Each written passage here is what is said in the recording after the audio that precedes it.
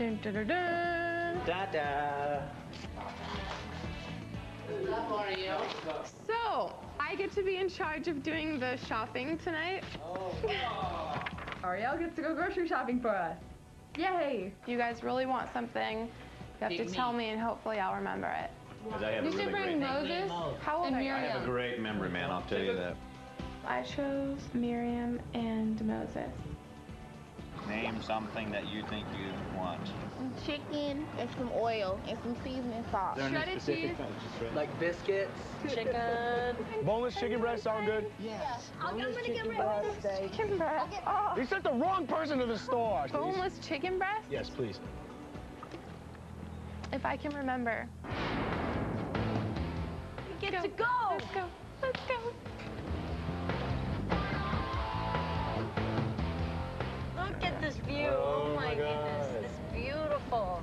Unbelievable. Are those like all the like the stars, like their houses and stuff? You know, Probably. I'm, I'm sure- sure, I'm I'm sure there that are. they are. I don't know the star's location because I don't really care.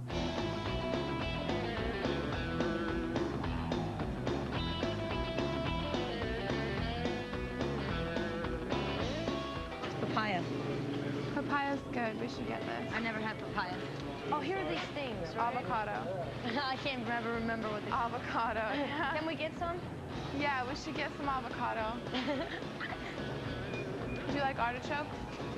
Yeah, but I never had them like, or I never even knew what they would look like, you know, like that. Really? You've never like had, like, a artichokes real in artichoke? Not a real one, no. Wow. Coconut? Have you guys had coconut? I'll take a coconut. Have you had them? I'd never had a, ba- a regular You want to go coconut, no. through?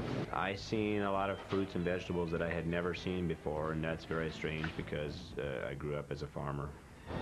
You want to get cottage cheese? Megan requested cottage cheese, so I decided I'm gonna get her a little bit of cottage cheese. Let's get them a couple soy yogurts. Okay. Soy yogurts are good. Okay. Well, they're not good, but they're better than real yogurt. Sure, sure. Mose was really he was trying to make sure everybody got what they wanted. That's that's Mose. He wants to make everybody happy. I think we need eggs, don't we? Um, I don't know. Yeah, we need eggs definitely. Those are chicken abortions. I'll bet Abraham Lincoln had eggs for breakfast. Yeah, and I'll bet he died at like 35. Not from eggs, though.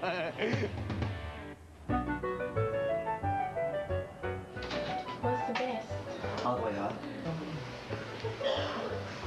I seen Whitney and Reese, and they were like, "Come on, come on in here," you know, and I, I was like, "No." What do you call that thing? Suji. Sauna. Sauna. Lasagna. No, the sweat room. Oh, the sweat room. Sauna. I think it's something like that. I'm not sure. I have plans to sometime get in the sauna. I really want to try it and see how I like it. Let's go get some meat. Okay.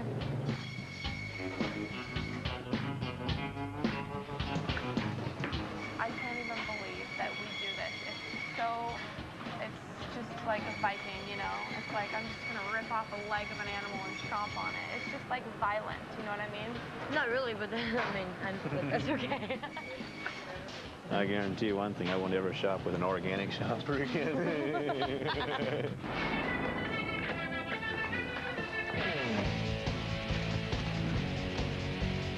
Is that it? Is that all the groceries, or should we help with some stuff? I think this is it.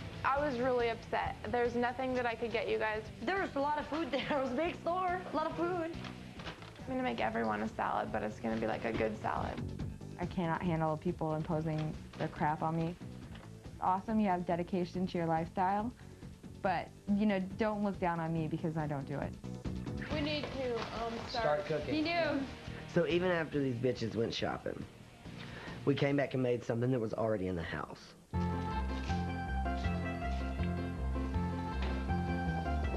Who doesn't love a spaghetti dinner, you know? Nobody can argue with spaghetti except Ariel.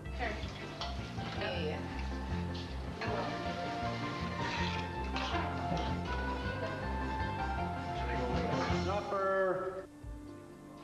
I was so scared at first. I was like, I don't know how I'm gonna stick this out. But now I'm actually feeling comfortable with the other people. I guess we have to learn to accept everybody as an individual, and it's going to be a challenge for everybody, I think. If I'm going to go out and explore, I'm going to do it all the way. But I feel strongly about the Amish religion still, and I feel that I have a sense of duty to pass that on to my sons and grandsons. I do feel myself slipping further and further away from the Amish. As more time goes by, I see more fun things to do. There's a lot of things to give up if you go back Amish. This experience is nothing compared to living in the Amish community. Here it's like sometimes there are unhappy people in the house, next time they're all excited for something, you know. I don't know how it's going to be the next two months, but we'll find out. Coming up as the Amish in the City premiere continues.